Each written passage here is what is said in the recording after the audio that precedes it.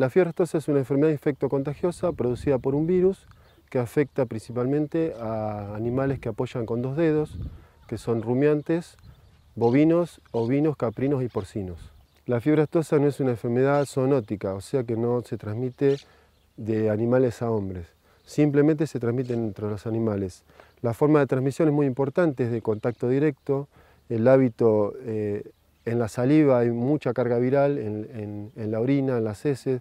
Básicamente la saliva, un animal enfermo contamina el agua y el hábito de lamerse entre ellos también se van pasando la enfermedad de unos a otros. Es una enfermedad con muy alta eh, morbilidad, o sea, si eh, entra fiebre aftosa a un rodeo que no está vacunado, casi el 100% de los animales se van a enfermar, pero de muy baja mortalidad.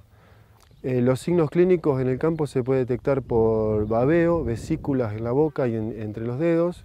Es una enfermedad también que produce mucha fiebre y con un descenso muy importante en el consumo de alimentos.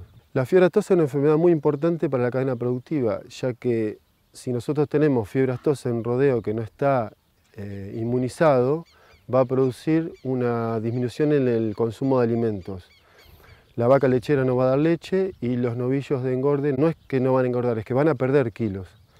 El SENASA lo que hace es eh, dar el cuadro normativo para prevenir la, aparición de la enfermedad y se vacuna dos veces por año. La vacuna antiastosa es aplicada por los entes sanitarios, que son brazos operativos del SENASA. Fueron creados hace unos cuantos años, son eh, asociaciones de productores o sociedades rurales que eh, cumple con la normativa de SENASA, son los encargados de aplicar la vacuna. Y la vigilancia epidemiológica son eh, toma de muestras en el campo y mandamos a los laboratorios para que vean niveles de anticuerpo y pasaje de virus eh, en los animales.